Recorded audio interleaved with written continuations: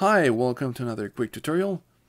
Today I will show you how to add CMYK color profiles to GIMP.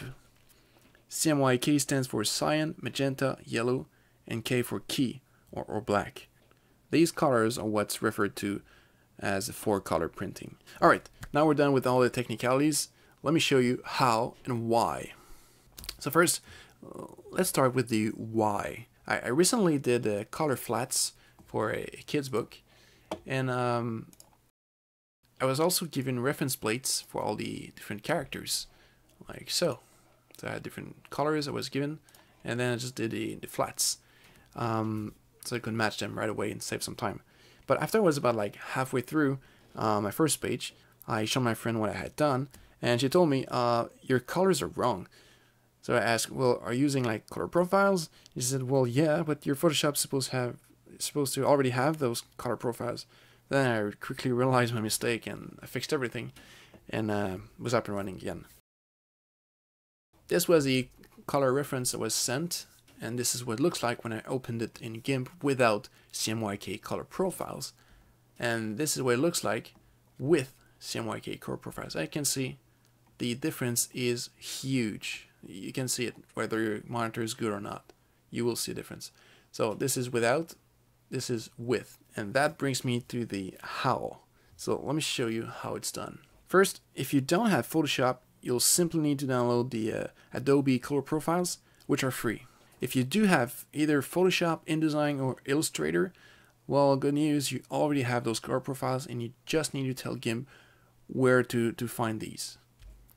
So, let me just show you quickly something. Okay, if you have Photoshop or any Adobe program installed, these are is where you're gonna find uh, all the color profiles. And don't bother pausing this video. All these the, the path I've put it in the description okay?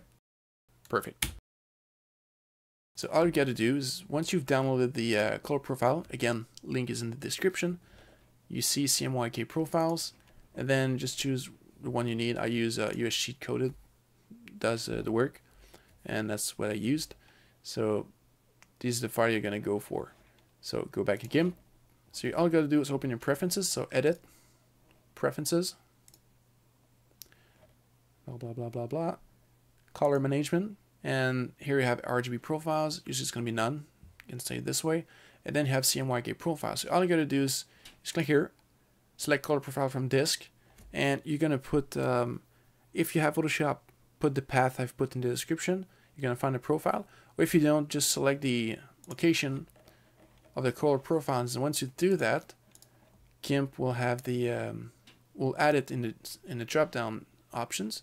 So you just select it, press OK, and you're good to go. Now everything you import that has the CMYK color profile will be recognized, and you will be shown the correct colors. And that's it. That's how you do it. And just a quick hint of my next upcoming tutorial. My first roadblock using GIMP instead of Photoshop doing flats whereas Photoshop uses a, um, a, layer mode called linear burn, which this is the pencils, but it's white background. There's no alpha channel, there's no transparency, and you just click linear burn and then you can put your color underneath, so to speak. But you there's no linear burn mode uh, in GIMP, but I figured a way how to do that, and that's going to be my next tutorial. So if you have any questions, um, drop a comment, I will reply. Or if you prefer a more personal conversation, send me an email, feel free. Please subscribe if you haven't done so already. More subscribers mean more questions, more questions, more tutorials, and thus more content. Thanks for watching, take care, and see you soon.